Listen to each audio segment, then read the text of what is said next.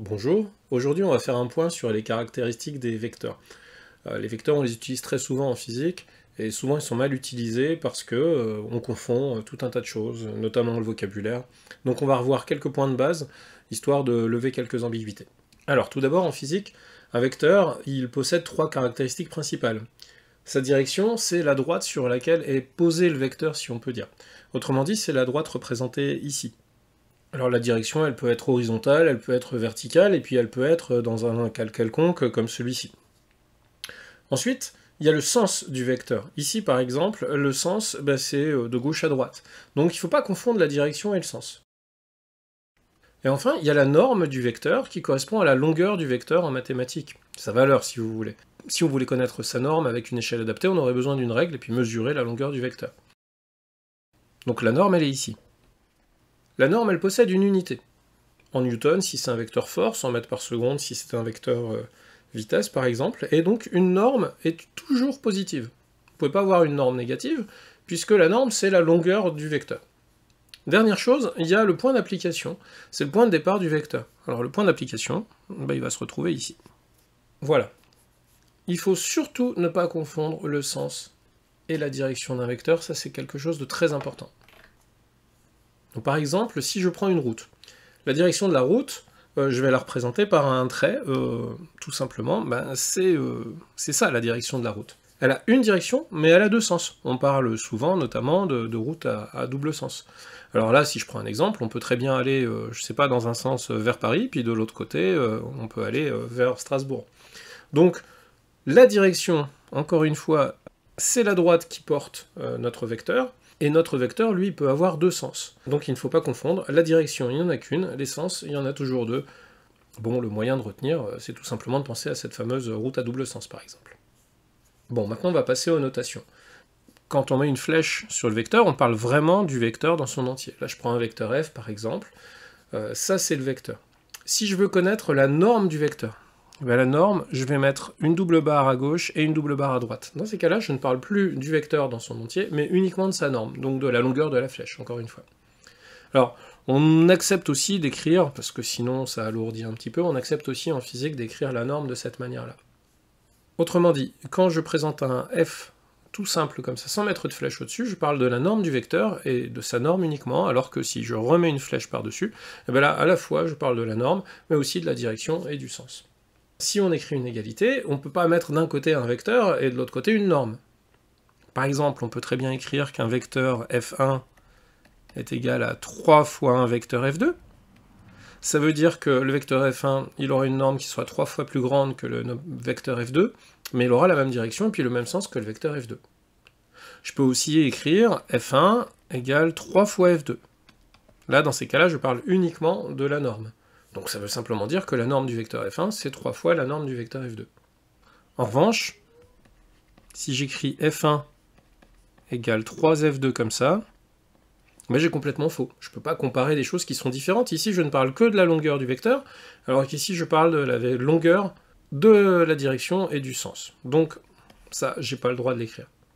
Évidemment, dans l'autre sens, euh, c'est pareil. Je ne peux pas écrire f1 en parlant uniquement de la norme, égale 3 fois le vecteur f2, puisque là, ça n'a pas de sens non plus. On n'est pas cohérent. Soit vous avez une flèche à gauche et à droite, soit vous n'avez pas de flèche à gauche et à droite, mais vous ne pouvez pas avoir une flèche d'un côté et puis pas de l'autre. Allez, en application, on va avoir un tableau à remplir. D'abord, on va avoir certaines situations modélisées, puis on va, on va remplir tout simplement les, les cases. Alors, la direction du vecteur V1, ben, c'est quoi? Ici, dans ce cas-là, c'est l'horizontale. Donc on peut écrire direction horizontale, il n'y a pas de souci. Mais on aurait un petit problème si elle était légèrement penchée, si le point A2 était légèrement au-dessus du point 1, par exemple. Et là, on serait un peu, un peu perdu. Donc soit on dit l'horizontale, ici ça marche, soit on va dire euh, la droite portée par les points 1 à 2, et comme ça on est tranquille. Ok, le sens maintenant. Bah, le sens, c'est de gauche vers la droite, mais c'est pareil, si on était dans un cas, par exemple, penché, on dirait euh, de A1 vers A2. Donc on peut écrire soit de gauche à droite, soit de A1 vers A2.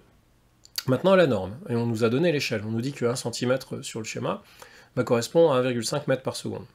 Bah, comme d'habitude, pour euh, connaître ça, on va prendre notre règle, et on se rend compte que notre flèche, elle fait 5,1 cm de longueur. Alors je commence par réécrire l'échelle. 1 cm correspond à 1,5 m par seconde. Moi j'ai ici un vecteur de 5,1 cm. Donc ça correspond à combien Tout simplement, produit en croix, 5,1 fois 1,5 divisé par 1, c'est-à dire 5,1 fois 1,5.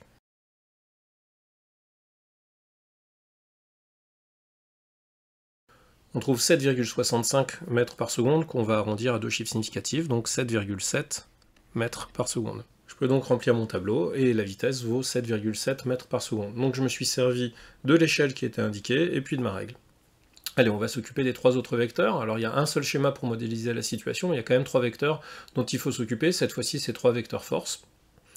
Euh, la première, la force exercée par un aimant sur un système.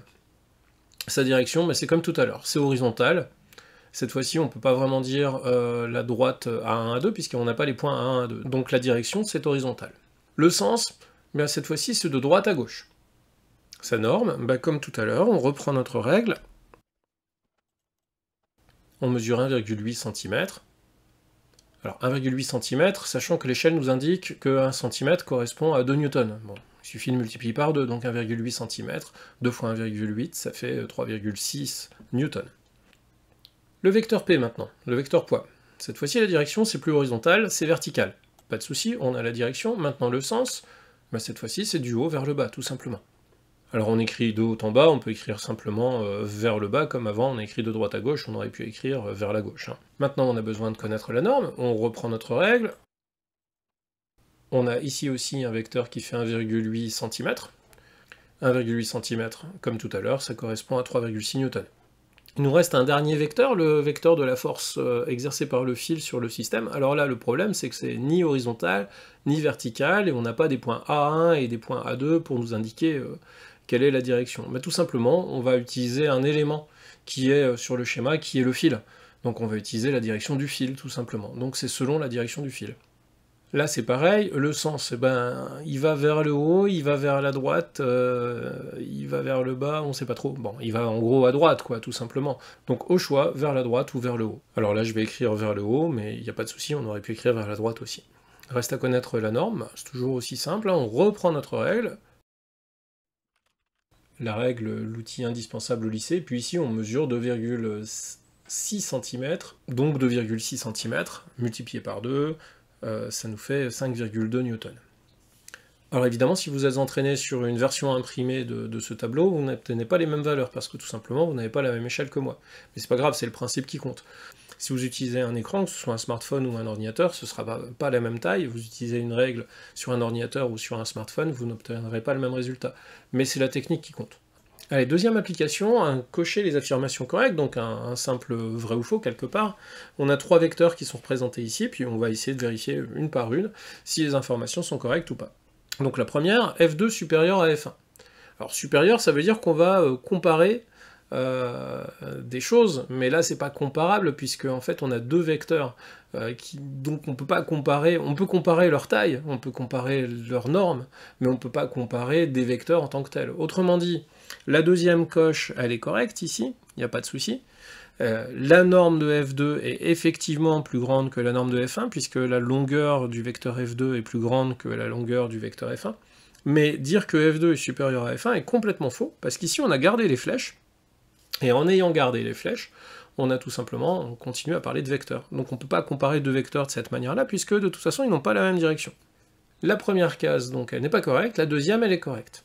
Euh, pour la troisième affirmation, bah, souvenez-vous, tout à l'heure, on a dit qu'on pouvait, quand on parlait d'une norme de vecteur, soit prendre ce vecteur et le mettre entre deux doubles barres, soit tout simplement enlever et la flèche et les doubles barres. Donc en réalité, cette troisième ligne correspond exactement à la version précédente, et la version précédente étant juste, cette troisième ligne est juste aussi.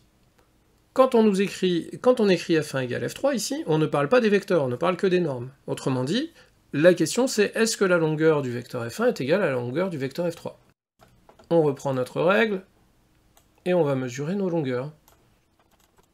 Le vecteur f1 mesure 3,4 cm de long, le vecteur f3 mesure 3,4 cm de long, les deux vecteurs ont la même longueur, donc ils ont la même norme, autrement dit, f1 égale f3 est correct ici, comme on parle de la norme. Et ici on parle également de la norme, donc cette affirmation est correcte également. Est-ce qu'on pourrait dire f1 égale moins f3 Maintenant, on ne peut pas dire f1 égale moins f3, parce que là, on n'a pas mis de flèche par-dessus. Autrement dit, on parle des normes, et les normes, je vous rappelle qu'elles sont toujours positives. Donc f1 égale moins f3, c'est faux. En revanche, en dessous, f1 égale moins f3, celle-ci elle est correcte. Alors pourquoi elle est correcte? Parce que tout simplement, on a bien vu que les normes étaient les mêmes, et puis on voit bien qu'en fin de compte, les deux vecteurs sont euh, collinéaires, ils ont la même direction. Simplement, ils n'ont pas le même sens. Donc le fait qu'ils soient de sens opposé, eh bien, il est traduit par le signe moins. Donc on a bien f1 égale moins f3 en vecteur, mais f1 égale moins f3 en norme, ça c'est faux. La suivante, on l'a dit tout à l'heure, ici on parle d'une norme, ici on parle d'un vecteur, c'est incompatible, donc ça, ça ne peut pas être utilisé. Ici, ça ne peut pas être écrit non plus, on ne peut pas avoir une flèche à gauche et pas de flèche à droite. F1 et F3 ont même norme. Ben, on a vu que F1 et F3, avec notre règle, avaient la même longueur, donc ça veut bien dire qu'ils ont le même norme, donc il n'y a pas de souci. Euh, F1 et F3 ont même sens. Alors si je regarde F1 et F3, je vois bien que F1 il va plutôt vers le bas, F3 vers le haut, donc non, ils n'ont pas le même sens. Par contre, ils ont même direction. Alors même si les deux ne sont pas alignés, je vous rappelle que la direction, si je la représente ici, c'est la droite support. Donc la direction, c'est la droite par laquelle passe notre vecteur. Et vous voyez bien que le vecteur F3 passe par la même droite que le vecteur F1. Ils ont tous les deux la même direction. Donc la dernière affirmation est correcte, F1 et F3 ont bien la même direction. Voilà, on a fini cette petite application, j'espère que ça a clarifié des choses, et je vous souhaite bon courage pour la suite.